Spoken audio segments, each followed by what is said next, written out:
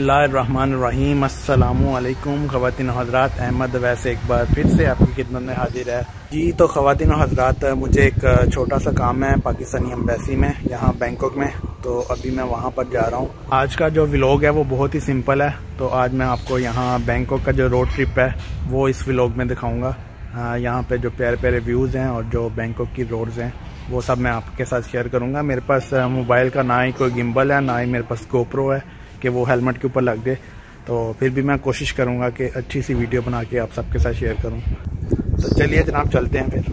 जी जनाब, मास्क मैंने पहन लिया है और हेलमेट भी मैंने पहन लिया है। अब मैं बिल्कुल रेडी हूँ। तो चलिए फिर अपने सफ़र का आगाज़ करते हैं। आज मैं अपने पुराने बाइक पे जा रहा हूँ। ये जी मेरी गली के बाहर ही मेन सिग्नल है और ये एरिया पचाउती तक धुंकरू एरिया ये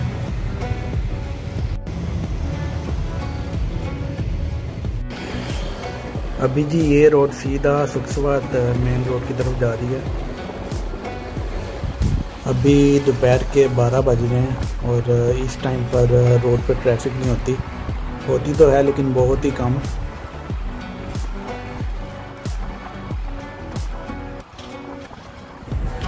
ये सामने राइट साइड पे आप मैक्रो देख रहे हैं। ये फ़ूड लैंड है।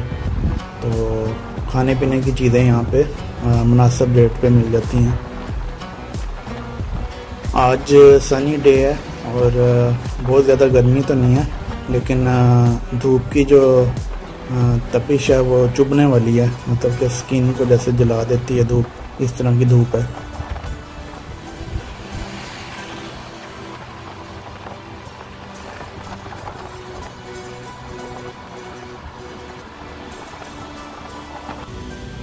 ये जी सामने सुखसवाद की मेन रोड है। सिग्नल बंद हुआ हुआ मैंने वो सामने राइट साइड की तरफ़ जाना है।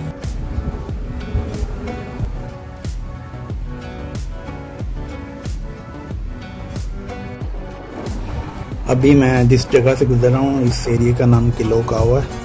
ये सिर्फ़ एक स्टॉप का नाम है। ये जो मेरे लेफ़्ट साइड से रोड आ रही है, ये हाईवे से नीचे उतर रही है।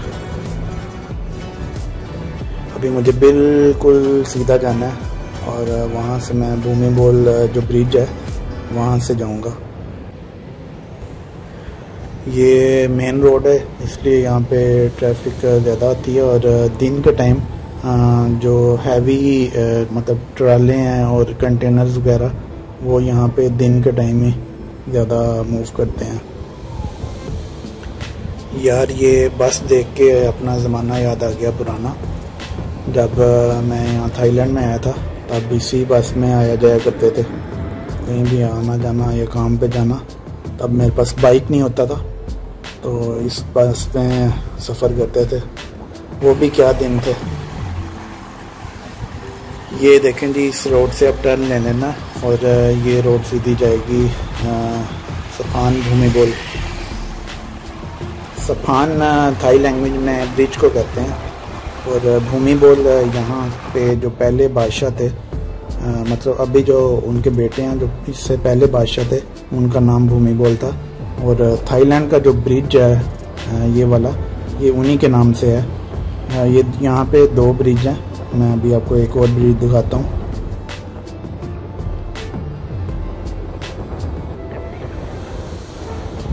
थाईलैंड का जो एयरपोर्ट है, वो भी किंग के नाम पे ही है स्वर्णा भूम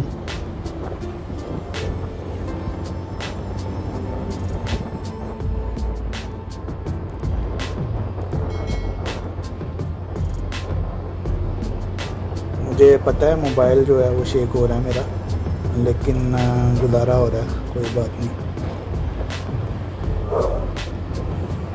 जनाब, इस ब्रिज का नाम भूमि बोल टू है और यहाँ पे वैसे बाइक लो नहीं है, लेकिन सभी बाइक वाले मेरे समेत इसी ब्रिज से जाते हैं और यहाँ पर कोई चेकिंग नहीं होती। मतलब पुलिस वाले बाइक वालों को रोकते नहीं हैं। और सेम इसी के साथ का जो दूसरा ब्रिज है, वो यहाँ से तकरीबन 10-15 किलोमीटर के फासले पे है। आ, वो जो ब्रिज है वो भी उसका नाम नहीं भूमि बोल है लेकिन वो सिर्फ़ हाईवे के तौर पर यूज़ किया जाता है। वहाँ पर बाइक सलोनी है। ये ब्रिज तकरीबन तकरीबन क्या? तेरह किलोमीटर लंबा है ये। जनाब ये जो ब्रिज है ये 20 सितंबर 2006 को नॉर्मल ट्रैफ़िक के लिए खोल दिया गया था। फिर उसके बाद जो ऑफिशियली तौर पर इसकी ओपनिंग हुई थी, वो 5 दिसंबर 2006 में हुई थी। ये वाला ब्रिज इंडस्ट्रियल रिंग रोड के नाम से भी जाना जाता है। और यकीन करें, यहाँ पे बाइक चलाने का जो स्वाद आता है ना आए हाय है सुबह अल्लाह रात के टाइम मैं जब काम से वापस आता हूँ ना तो यहाँ पे इस ब्रिज पे, सिर्फ़ इस ब्रिज पे बाइक चलाने का बहुत मज़ा आता है।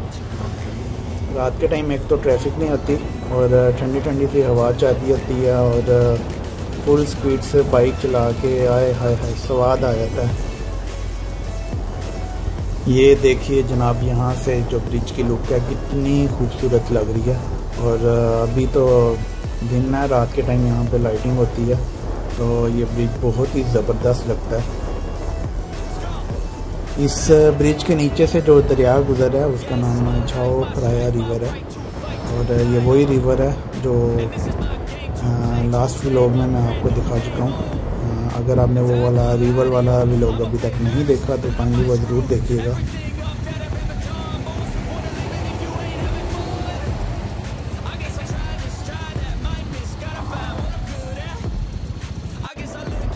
इस ब्रिज की हाइट की बात की जाए तो ये 50 मीटर इसकी हाइट है।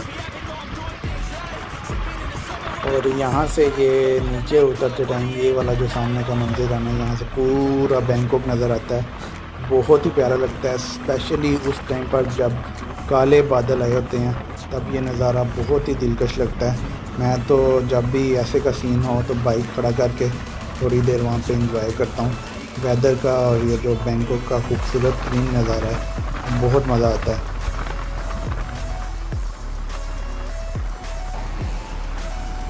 अभी जी ब्रिज से नीचे मैं उतर गया हूँ और ये जो आगे रोड है, ये रामा थ्री रोड है। ये वाली रोड जो आप देख रहे हैं, ये बिल्कुल सीधा सुखोमित की तरफ़ जाती है। सुखोमित यहाँ बैंकॉक का सेंटर है, कह लें आप। मेन जो बैंकों का दिल कह लें, बैंकों का हार्ट जो है वो सुखोमित है। ये रोड बिल्कुल सीधी कलोंग तो ही जो मार्केट है मेन फ़ूड मार्केट है, यहाँ से फ्रेश वेजिटेबल्स मिलती हैं। ये रोड अगर सीधा जाएँ तो उस तरफ़ को जाती है। और मैं अभी दूसरे रास्ते से जाऊँगा, वो आगे जाके वहाँ से लेफ़्ट टर्न ले लूँगा। और मैं सथवान वाले रास्ते से जाऊँगा। ये देखें जी ये रोड अगर सीधा जाएँ तो उधर कलोंगटोई की तरफ़ जाएगी। लेकिन मैं यहाँ से लेफ़्ट ले रहा हूँ और ये नराथीबाज रोड है, जो कि सीधा सथोन जाएगी। वो सामने जो आप येलो कलर की बस देख रहे हैं, ये बीआरटी बस है और इसका ट्रैक अलग ही है। जैसे पाकिस्तान में लाहौर में मेट्रो है, इस तरह की है ये। ये रोड रेस्टोरेंट की तरफ़ जाती है, जहाँ पे मैं काम करता हूँ वृंदावन रेस्टोरेंट और इसी रोड पे आगे 24 नंबर स्ट्रीट है, जहाँ पे रेस्टोरेंट है। अभी वो सामने एक सिग्नल आ रहा है। वो सिग्नल क्रॉस करके तो नराथीवास सोए ट्वेंटी फोर आती है। वहाँ पे है ग्रीन रेस्टोरेंट।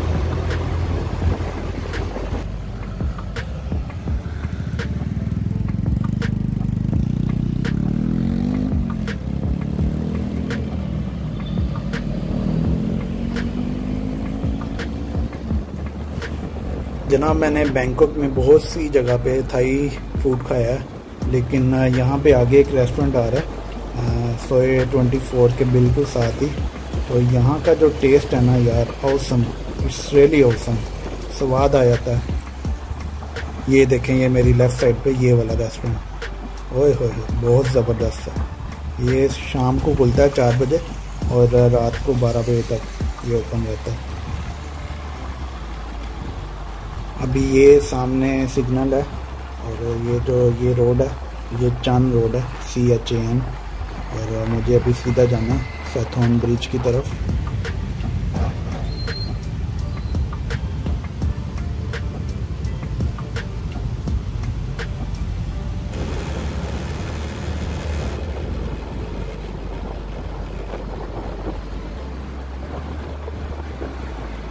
मज़े की ठंडी ठंडी सी हवा लग रही है। बहुत ही मज़ा आ रहा है। ये आगे जनाब, ये मेरी लेफ़्ट साइड पे, यहाँ पे मेट्रो है, जो कि इस एरिया का सबसे बड़ा मेट्रो है। और तकरीबन हर चीज़ यहाँ से मिल जाती है। इसकी मैंने वीडियो भी बनाई हुई है, वो भी आप सब मेरे चैनल पे जाके ज़रूर देखिएगा। अभी मुझे यहाँ से सीधा जाना है बिल्कुल आगे, और वो आगे जाके जो सिग्नल आएगा, वहाँ पे है सतोन ब्रिज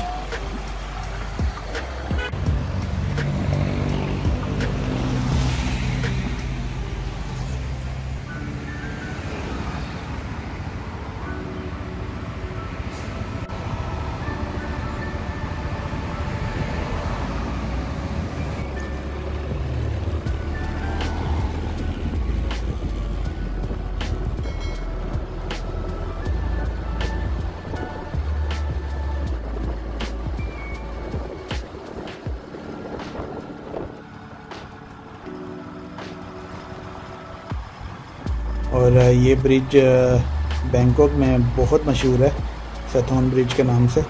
और बहुत सी इंडियन मूवीज़ में और हॉलीवुड की मूवीज़ में ये ब्रिज आ चुका है। तो ये इस वजह से मशहूर है। तो मैं एक छोटी सी लुक आपको इसकी दिखाता हूँ। चेक कीजिएगा।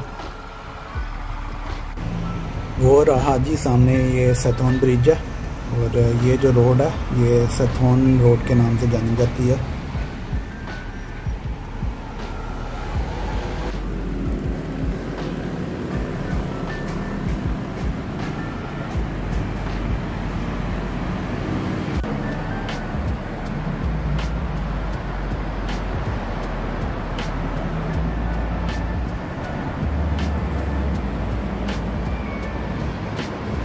जी खवतिन हजरात वो सामने आप देख रहे होंगे, ये ट्रेन का ब्रिज है और यहाँ पे बीटीएस ट्रेन जो है, वो यहाँ से गुजरती है।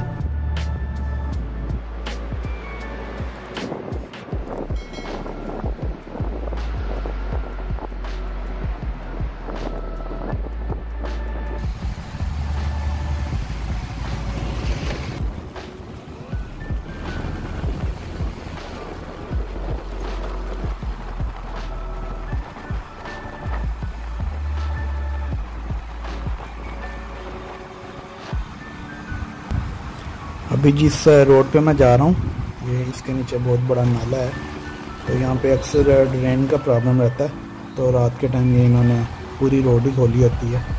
और ये जो नीचे नाला है ड्रेन का, ये तकरीबन 12 से 15 फुट गहरा है।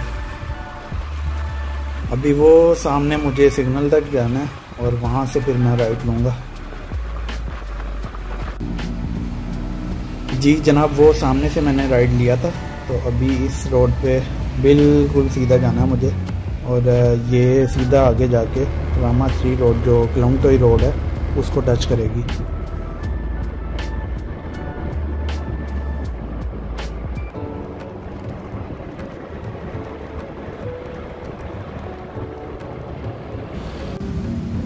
ये देखिए जनाब, ये है मेड पार्क हॉस्पिटल और वो सामने क्लोंगटोई मार्केट है। और मुझे वहाँ आगे से राइट लेना है. सॉरी लेफ़्ट ये देखिए, ये एक क्लोंगटोई रोड है और मुझे अभी इस तरफ़ से सीधा आगे सुखोमित जाना है.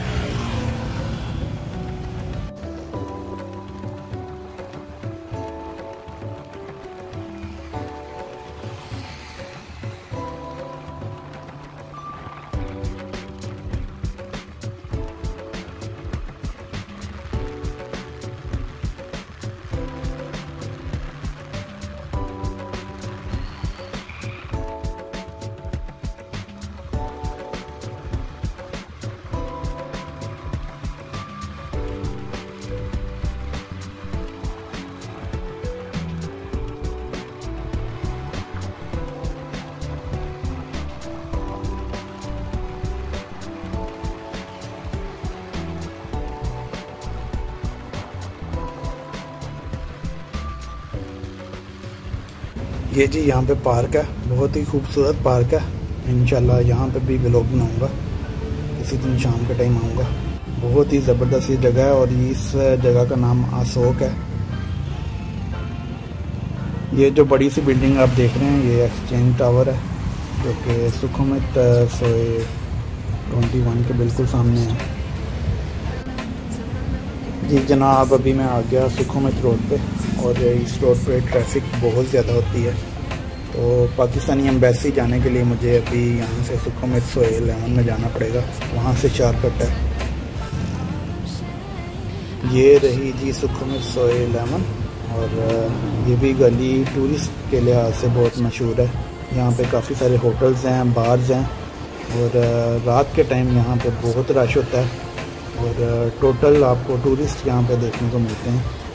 मेरी लेफ़्ट साइड पे, यहाँ पे कंटिन्यू आगे तक बार्स हैं, जो ओपन बार्स होते हैं। रात के टाइम यहाँ पे शोर मचा होता है, गाने वाने, ये वो सब दारू शारू चल रहा होता है। पाकिस्तानी एम्बेसी जाने के लिए वैसे तो और भी रास्ते हैं, लेकिन मुझे ये शार्कट ईजी पड़ता है। तो मैंने जब भी इधर आना होता है तो फिर यही रास्ता यूज़ करता हूँ। ये देखिए जनाब, सामने, ये मेरे सामने, बिल्कुल सामने, ये है बैंकों का जहाज़। जिसे टुक टुक कहा जाता है। और जो फारनर्स हैं स्पेशली गोरे लोग, वो इस टुक टुक में बैठना बहुत पसंद करते हैं। इवन कि उन्होंने एक गली से दूसरी गली भी जाना हो तो ये टुक टुक यूज़ करते हैं। तो इसकी रीज़न ये है कि इसमें बैठ के बहुत ही मज़ा आता है। और जब ये खाली रोड पे भागता है ना तो जहाज़ ही लगता है।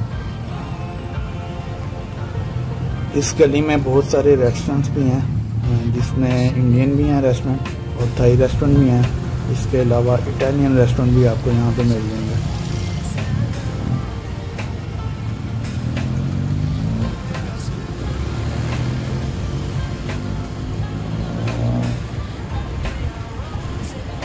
जी जनाब, अभी यहाँ से टर्न लेना है और फिर दोबारा लेफ़्ट टर्न लेना है और बिल्कुल सामने फिर आगे पाकिस्तान एम्बेसी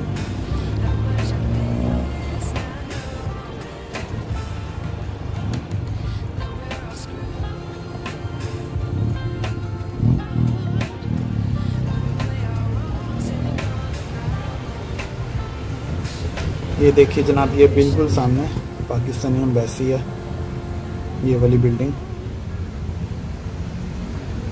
जी ख़वान हजरात अम्बेसी में पहुँच चुका हूँ तो अभी मुझे बैंक में फ़ीस जमा करवानी है।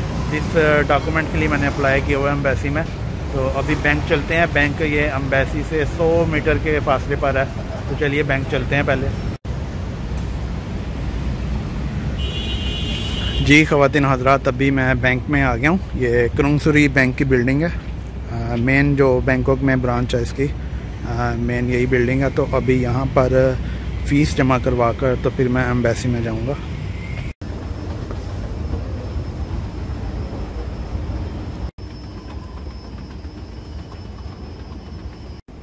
ये सामने जी बैंक है। अभी यहाँ पर फ़ीस जमा करवाते हैं। 10 से 15 मिनट लगेंगे।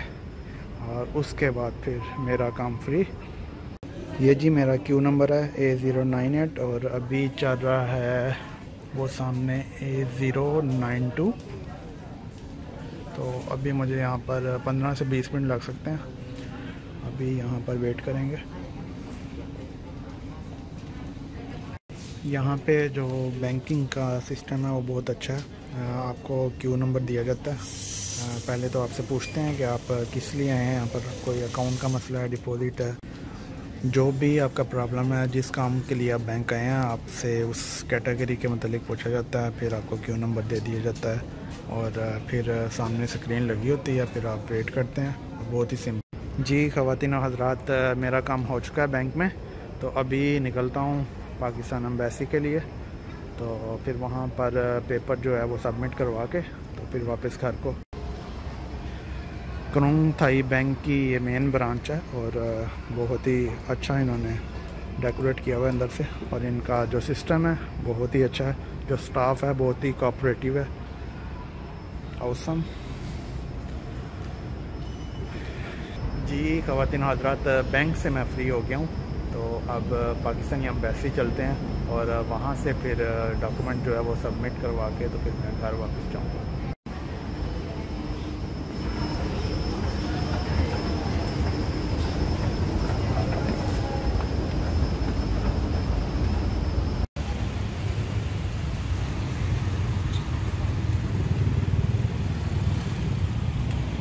ये देखिए जनाब, ये कितने मज़े के हैंडक्राफ्ट इन्होंने बना के रखे हुए हैं। ये सब हाथ से बनाए गए हैं।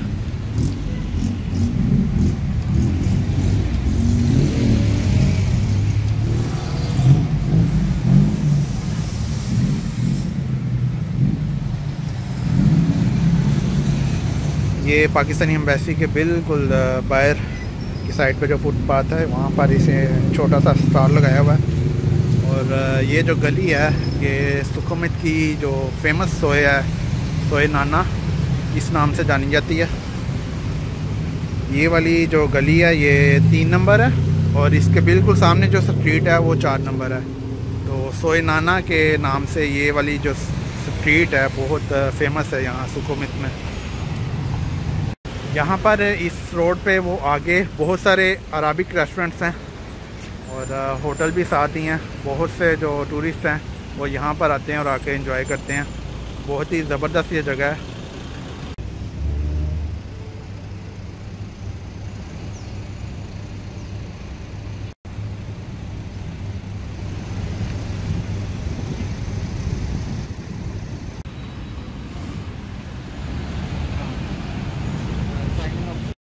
जनाब, वो सामने जो आप एक गली देख रहे हैं, ये यहाँ पे।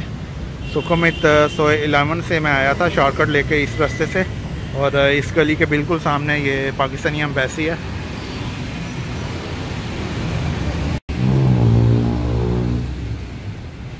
तो ये इसकी एंट्रेंस है और यहाँ से अभी अंदर जाऊँगा। जी ख़वान हजरात अम्बेसी के अंदर मोबाइल अलाउ नहीं है। अगर मोबाइल अंदर लेके जाने देते तो अम्बेसी के जो अंदर का व्यू है, मैं वो भी आपको ज़रूर दिखाता। लेकिन अनफॉर्चुनेटली उन्होंने मोबाइल अंदर लेके जाने नहीं दिया। जी दोस्तों, जिस डॉक्यूमेंट के लिए मैंने अप्लाई किया था, वो सबमिट हो चुका है। तो अभी आज का व्लॉग यहीं पर ख़त्म करते हैं। आई होप आपको आज का ये सिंपल सा व्लॉग बहुत पसंद आया होगा। अगर आपको पसंद आया तो अपने फ्रेंड्स और फैमिली के साथ ज़रूर शेयर करें। और मेरे चैनल अहमद अवैस व्लॉग को सब्सक्राइब कर दें और बेल आइकन के बटन को ज़रूर दबाइएगा। इन बहुत जल्द एक बहुत मज़ेदार व्लॉग के साथ आपकी खिदमत में हाजिर हूँ तब तक के लिए अहमद वैस को इजाज़त दीजिए। अपना बहुत सारा ख्याल रखिए। अल्लाह हाफ़